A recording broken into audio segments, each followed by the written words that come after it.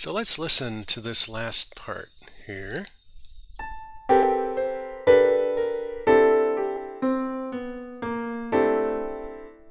Yes.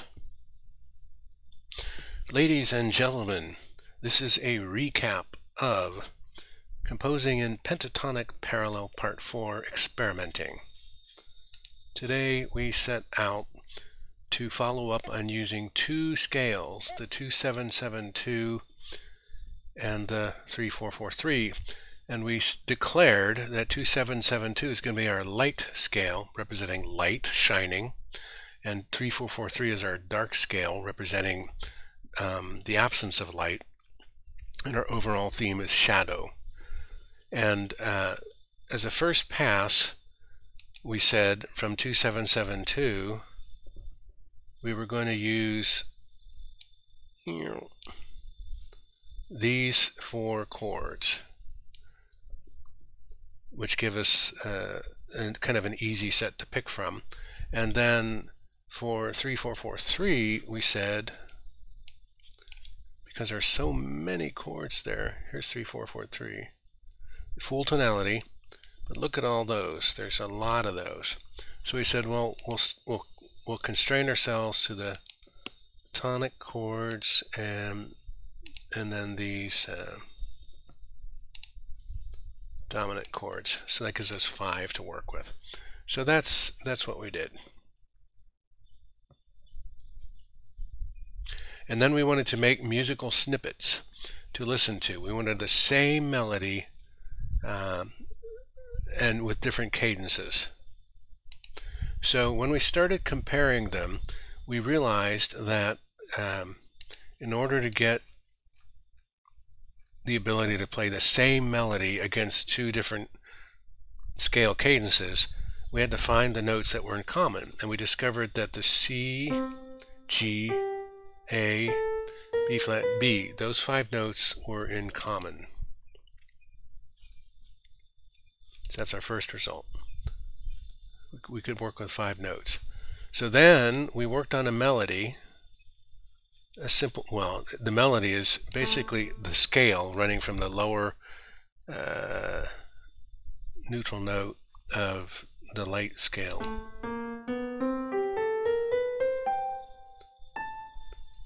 And then the second part of the melody is. So that's our melody. Then we picked a backbone. We said we're going to pick the, the beat.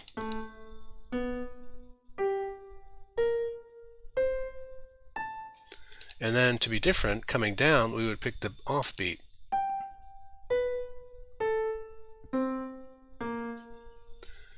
And then then we went ahead and came up with a light cadence, which is these.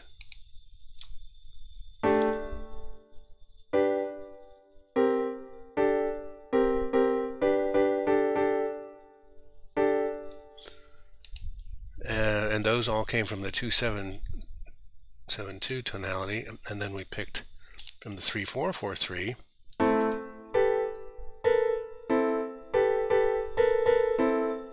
Like that. And then, to be really fun about it, we said, well, we'll just combine the whole, both cadences and see what we get. So it turns out that when you do that, we call the first part light, light, which is the 2772. Second part is the dark, the 3443. And we put them together to get a shadow. Uh, and we're going to listen to that in a minute. Interestingly, when you combine these chords, that's a three note chord, that's a three note chord, put them together and you get a five note chord. And, uh, and it turned out that there are four things that do that, like that and that, give you five notes. This one gives you only four notes. Whoops. So, so we were having fun. So now we have pentachords and tetrachords, if you will. And if you wanted to really be, five kind of came up several times today. That we had five notes in common between the two scales. These notes do not form a pentatonic parallel scale. We can bet that with 90% certainty. And these notes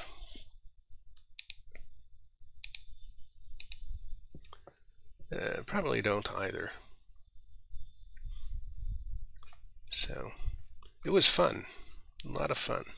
So what we want to do is listen now to pentatonic parallel light dark musical snippets model. A dark two-liner, I mean a light two-liner, a dark two-liner, and a shadow two-liner. And turn the mic off for that.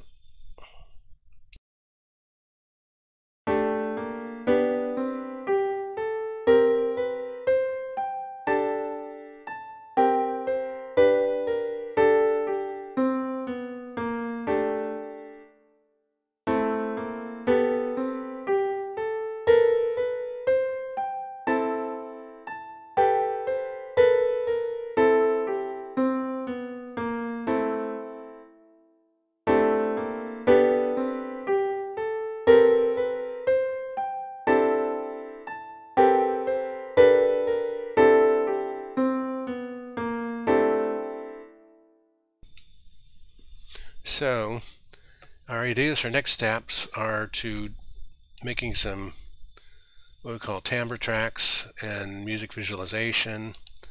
Uh, take each one of these lines here, or a track, and give it its own kind of visual uh, flickering shape.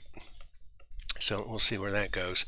The other thing we might want to do here is um, experiment with making making the chords last longer slash linger. And that might mean we want to put a oboe on it or something. So we shall see. Thank you as always for your time and attention.